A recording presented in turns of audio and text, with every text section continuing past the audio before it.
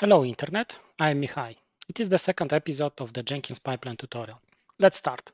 In this video we will create a Git repository, create a Node.js web server and run the web server. Let's start with the repository. I go to my GitHub account and I will create a Git repository. So I click new and in the repository name I write Jenkins pipeline tutorial double underscore node.js dash backend. Description is empty, repository is public, we don't add a readme file, no git ignore, and no license file. Click on create repository. The repository is created. Now I want to create a project to group the repositories. I go to projects, select classic, new project and create classic project. The project name will be Jenkins pipeline tutorial.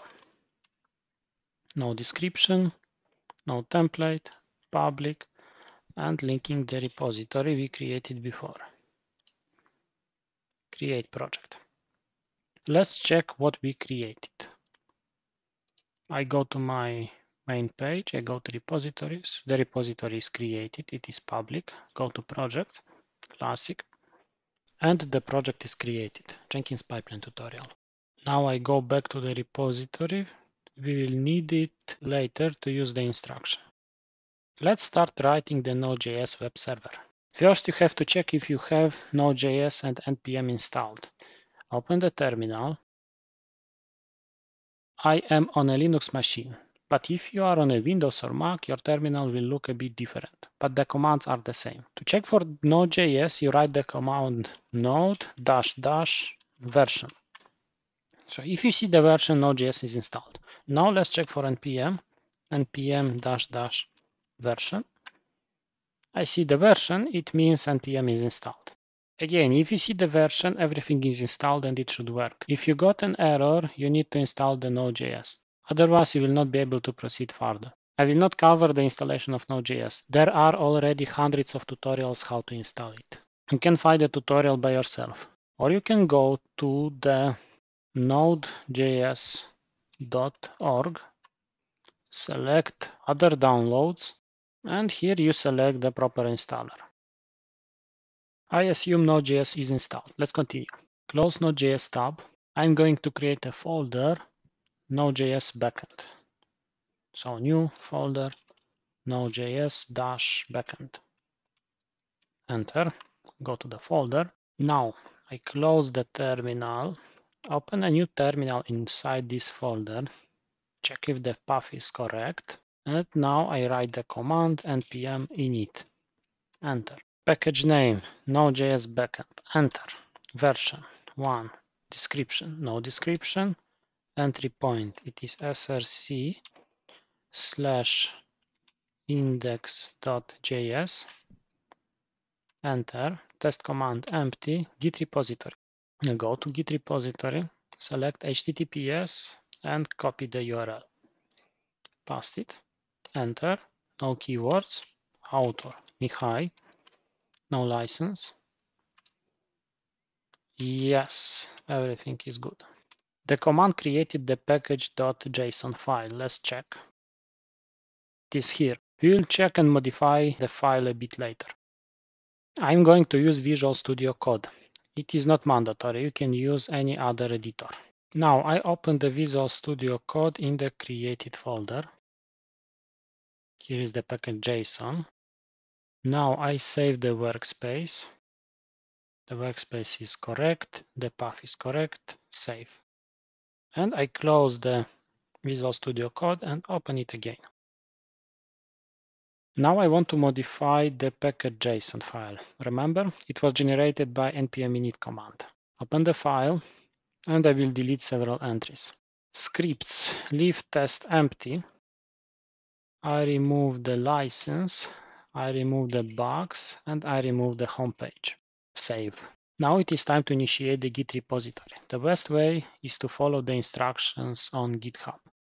I go back to the terminal, it is here, and I write git init. move it a bit right. Okay.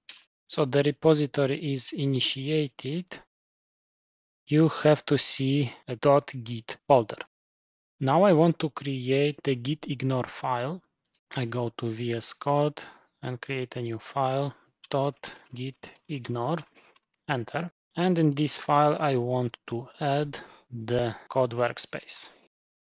The hashtag stays for the comment. And now I write splat dot code dash workspace save. There is no need to push the code workspace file because it stores your personal settings of Visual Studio Code. Let's check the git status. Write the command git space status. And here you see the git ignore file, the package.json file, but you don't see Node.js backend.code workspace because it is ignored. Let's add the files to the git stage. Git add git ignore, git add package.json. Check the status again. So both files are staged and they are ready to be committed. Write the command git commit dash m, it stands for the message, and the message will be first commit. Enter. I go back to the GitHub to check the instruction. So we did the first commit. Now it's the time to rename the branch. Copy the command, paste it in the terminal, enter. Now you see the branch is main. The next step is to add the remote. I will use SSH protocol, but if you are not familiar with it and you don't know how to use it, select HTTPS. It is simpler for the beginners. Copy. Go to the terminal, pass the command, enter. The next step is to push to the remote repository. Copy the command, paste it in the terminal, enter. Let's wait, and it was pushed. Let's check it on GitHub. So refresh the page, and you can see our files. We have the git ignore, we have the package.json, and if we click on the commits history, you see only just one commit with the message first commit. Right, go to next steps. We need to install one npm module to write and run the server. Open the terminal and write the command npm install express. Enter.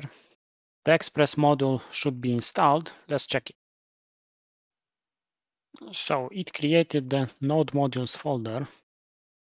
Here is the Express we installed and all the dependencies Express requires.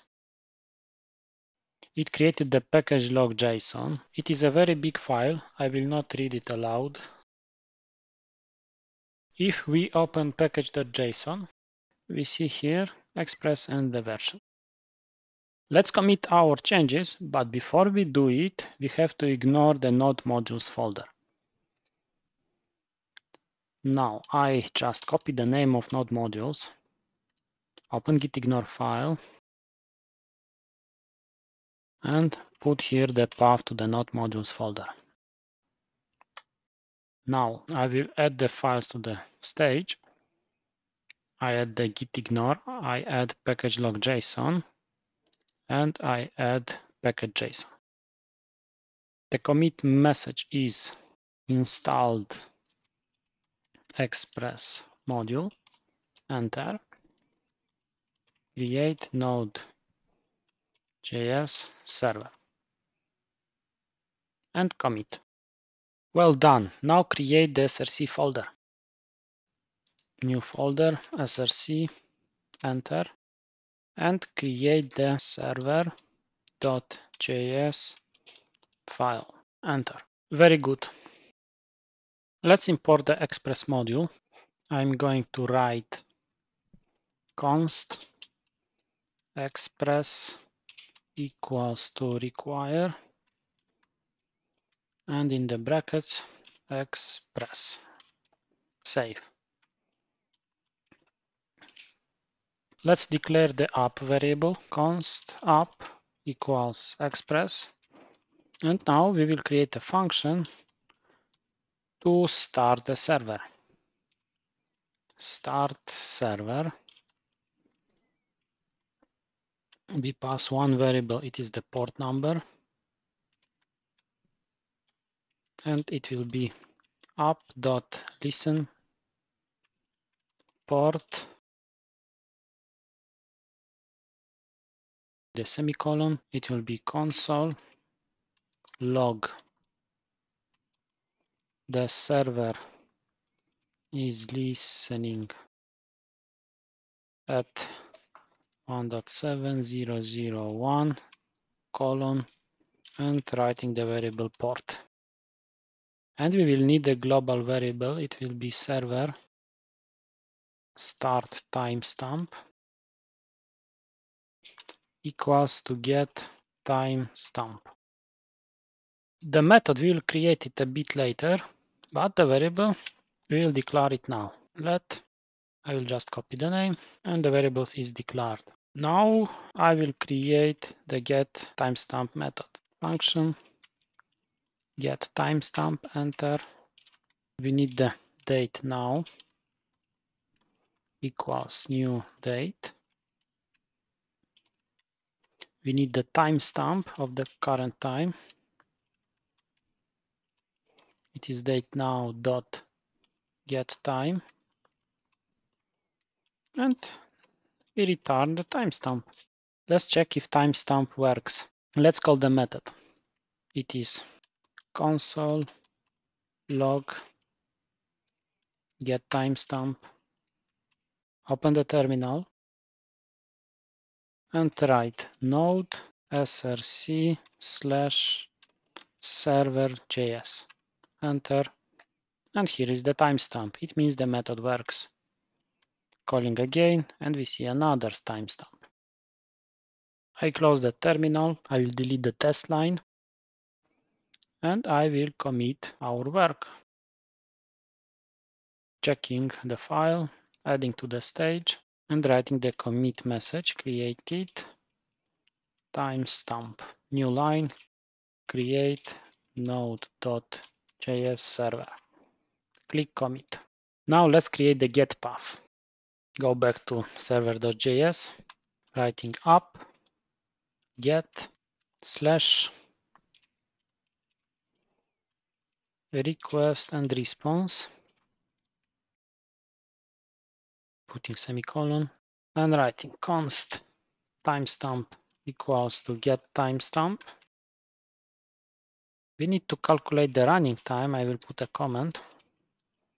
Calculate the running time.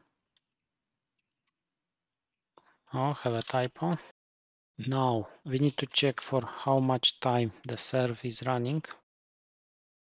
Running time equals to timestamp now minus server start timestamp.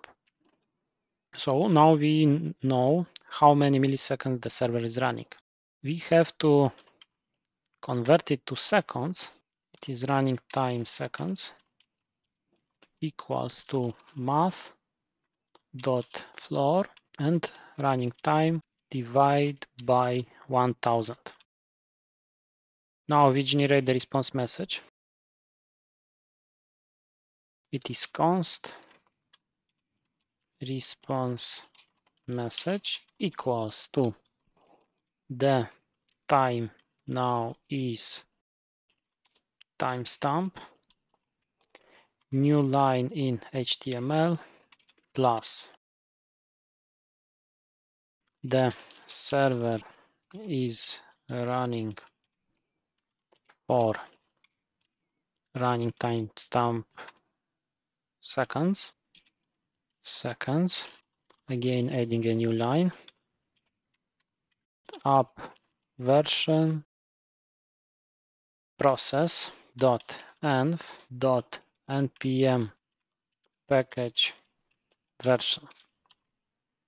The npm package version variable will show us the version from the package.json file. It means it will show us 100 go back to server.js and send the response back to the browser. Writing res status code equals 200 and response send response message. Unfortunately, we cannot test it now. Let's commit and test it later. Checking the file, we edit everything we wanted. Add the stage, writing the commit message, created get path, new line, create node.js server and commit. Now we should create another JS file to run the server. I create in the src folder the file index.js. Enter. Now we import the server equals require and writing the path to our server and start the server on port 15476 or any other port you like. One more thing, we have to export the start server so that we can use it. I write module dot exports equals and in curly brackets I write start server. It is this method in the line 6. Okay, the app is ready. Let's run it. Open the terminal and write the command node src index.js. Enter. We have the message server is listening at 127.001.15476. Copy. Open the browser, a new tab, enter. Voila, we have the server running. We have the timestamp, we have the time for how many seconds the server is running, but the app version is undefined. Let's fix it. We stop the server, press Ctrl C, open package.json, and here in the scripts, we write start colon node src slash index dot js and put a comma. Save. Let's start the server again, but this time we will use npm. Go to the terminal and write npm run start. So I have a mistake. Let's fix it. So the error is I made a mistake in the file name. It is not index, it is index. I renamed it. Now let's try to run the npm again. npm run start, enter, and it works. Server is listening at the same path. Open the browser, refresh the page, and now we can see the app version. Very good, guys. The version is displayed. Let's commit. Open the terminal, stop the server. I add the files to git stage. So package.json is okay. Index.js is okay. Server.js is also okay. Everything is added in the stage. I write the commit message created index.js first server running. New line. Create node.js server. And commit. I want to add one more feature. Please open server.js and I will write the fail path. It allows us to force the server into a fail. So I write app.get, the path will be fail, comma, request response, get query parameters, const request query equals request dot query. Enter const request probability equals request query probability. It will return us a string, but we need to convert it to a number. So we just write the plus sign before the variable. Calculate the probability. So the default status code will be 200. If math random, it will generate a random number between 0 inclusive and 1 exclusive is less than request probability divided by 100. Then the status code will be 500. Enter, save, and send the response. Response dot status code equals to status code and response. Send. The message will be status code is status code. Save it is time to test it open the terminal again run it npm run start the server is running go to the web browser, refresh the page, and now we have to write the path fail. So the status code is 200. We can check it also more advanced. Right click on the page, go to inspect, go to the network tab, refresh the page, and you, you see the status 200. Now let's change the fail probability.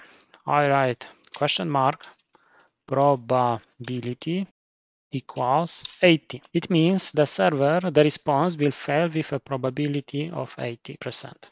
Enter. The page is reloaded and the response failed. Refresh the page, response is okay. Refresh the page, it failed, it failed. Refresh again, it failed. It is okay, it failed, it failed, and so on. Okay, enough of fun. Stop the server and commit the message. So Control C to stop the server. I check changes in the server.js. Everything looks good. Adding it to the stage and write the commit message, create fail path. New line, create node.js server and commit. I'm going to push everything to GitHub. I go to the terminal and write git push. Wait a while and everything was pushed. Let's check on GitHub.